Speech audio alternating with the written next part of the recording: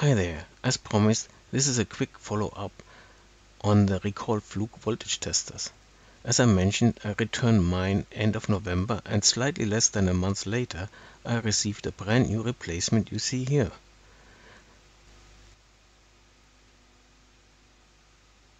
It comes with instructions in like 16 different languages.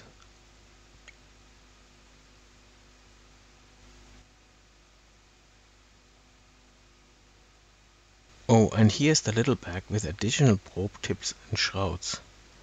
It looks exactly the same as the old model, which, according to Fluke, has an issue with the strain relief of the connecting cable, which can cause the tester to intermittently fail detection of dangerous voltages. Also, Fluke detected that the cable itself may fail under repeated bending stress. I can't detect any differences, Let's open the battery compartment and check the cable inlet.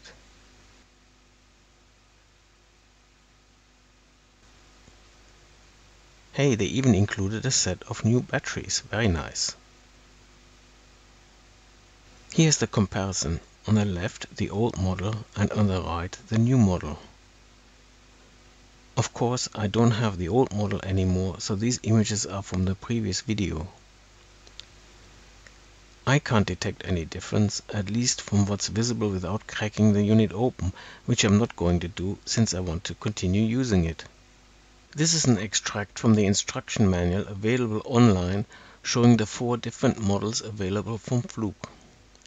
The high-end models T130 and T150 have an additional 3-digit LCD display to read voltages and frequency, but as you can see, the resolution and accuracy is rather limited. The same is true with the additional resistance measurement offered by the T150 model. I think the best value for money is either the T90 or T110 model. They have all the important features, including LEDs for voltage ranges, DC AC indicator, continuity test, and single pole phase test. For safely checking and troubleshooting mains installations, this is more than enough. And if I really need to know the exact voltage or resistance, I would use a proper multimeter and have a much better resolution and accuracy. An important feature of the T110 against the T90 is the capability to switch a load into the measurement circuit to trigger RCDs. The other difference between T90 and T110 are the better CAT rating and IP protection offered by the T110, the built-in torch which can come in handy, and being able to turn the beeper on and off, which at least for the T110 is quite loud.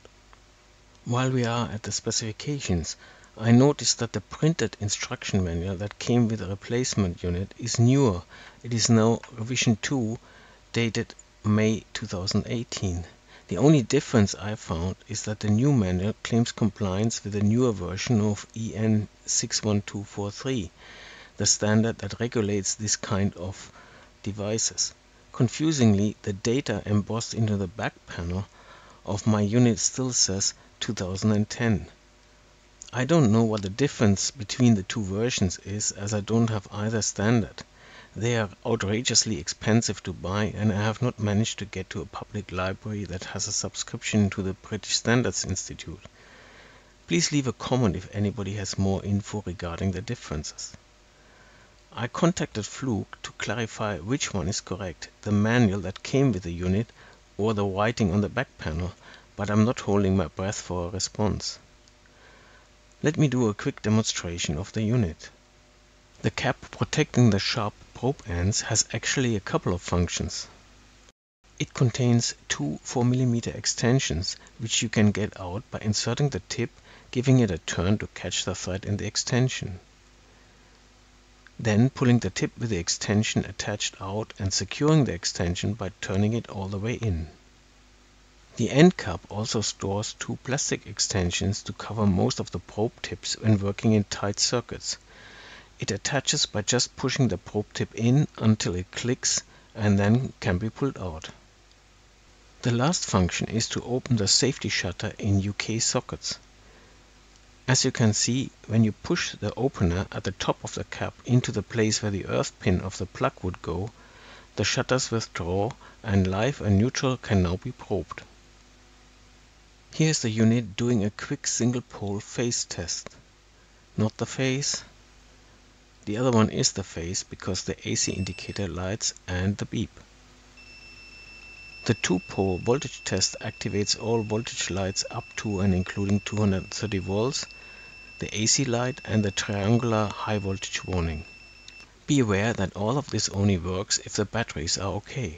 Let me show you what happens if they are dead or removed as in this case. Single pole phase test doesn't work anymore.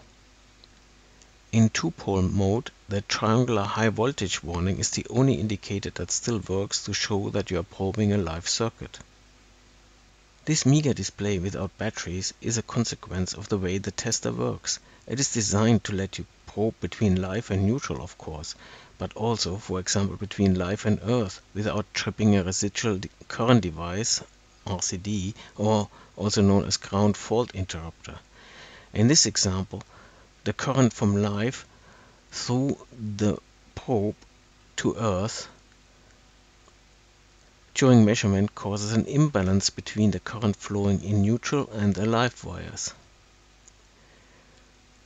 In normal operation the current I load in the live and neutral wires are identical and cancel each other out in the RCD sensor. When probing like this, there's now a slightly more current flowing in the live wire. If that imbalance is larger than a few milliamps, it will trip the RCD. To minimize the measurement current and avoid nuisance tripping of RCDs, the probe uses battery-powered electronics for most of its functions and indicators, and the high voltage warning LED is the only function with a low enough current that allows it to be powered from the probed circuit directly and stay below the RCD trigger threshold. The datasheet specifies this as less than 3.5 milliamps at 690 volts. If you actually want to trigger an RCD, the T110 has a function that adds a temporary load resistor to the circuit to cause a high enough current flow that will trigger an RCD. The manual states that one is supposed to carry out a self-test before using the unit, and that the unit is not supposed to be used if the self-test fails. To do a self-test, you need to hold the probes together like for a continuity test, but for more than 3 seconds then all lights except two should come on briefly. So the unit needs its batteries to work properly and the sole warning light for the presence of high voltage that still works when the batteries are dead is at best an emergency measure. In that case I thought it be useful to measure the battery consumption and the low battery warning. This turned out to be much more complicated than expected partly because the construction of the battery compartment makes it very difficult to reliably connect the unit to a bench power supply, and partly because of the way the unit works. In the end, I decided instead of a long and boring video, I just share the results in form of these tables. At 3 volts, I measured a current between 40 and 65 milliamps. This fluctuates because of the beep and also because of the number of LEDs turned on. This current is quite high for AAA batteries, but flows only during probing and so only for very short periods. The standby current is only 4.6 microamps, which is very good. The low voltage limit is hard to test because of course the unit only powers up and checks the battery when it's actively probing. When idle, you can lower the battery voltage all the way down to zero and the unit does not show anything because it's effectively off. I try to find the moment when the low bat light comes on by successively lowering the voltage and then probing continuity. With that method 2.2 volts brought the low battery indicator on. Once that happens, the unit remembers this and shows the low bat indicator at every future measurement, even if you raise the, raise the battery voltage back to 3 volts and above.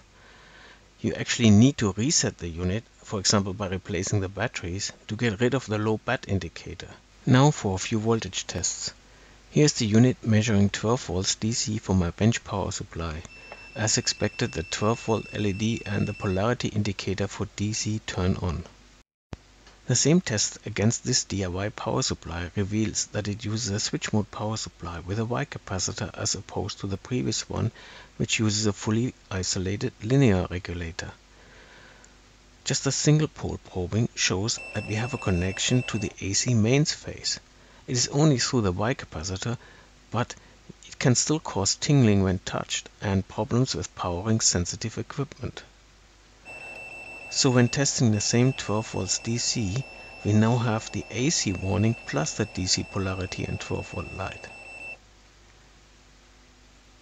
Changing the voltage to 24 volts DC and we get the expected 12 volt and 24 volt lights, DC polarity and of course the AC warning. Although the mentioned load test for tripping RCDs is of course meant for AC mains, you can see how it works when I use it here on the 24 volts DC. The current goes from 0 to 2 milliamps when the test buttons are pressed and the indicator lights up.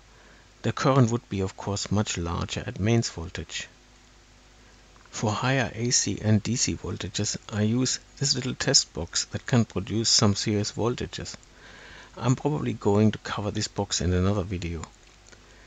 The red multimeter reads the DC voltage on the red and black test leads and the blue one the AC voltage on the yellow test leads.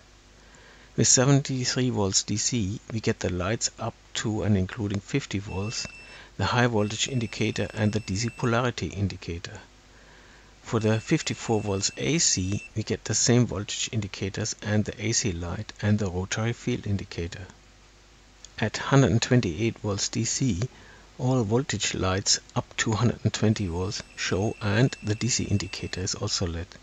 For 94 volts AC, it kind of rounds up to be on the safe side and also shows the 120 volts indicator as well. Increasing to 226 volts DC, we get now the 230 volt light as well. While for the 168 volts AC, we still only get up to the 120 volts indicated. At 365 volts DC we now get the 400 volt light and for 263 volts AC it shows now the 230 volt indicator. Finally at 446 volts DC it is still the 400 volt light and at 308 volts AC it is still the 230 volt light. These are at present the highest test voltages I can produce safely. Here's another test of the load button at approximately mains voltage. As you can see from the meters the sudden high load causes my voltage generator to collapse somewhat. Last test is the continuity. I'm gradually increasing the resistance in powers of 10. As you can see, the probe indicates continuity all the way to the 100k resistor, which means a total resistance of 111k because all the previous resistors are in series. In fact, the spec says the limit for recognizing continuity is 400k. This concludes my review of the Fluke T110 voltage continuity tester. I hope you found it useful. If so, please give it a thumbs up and thanks for watching.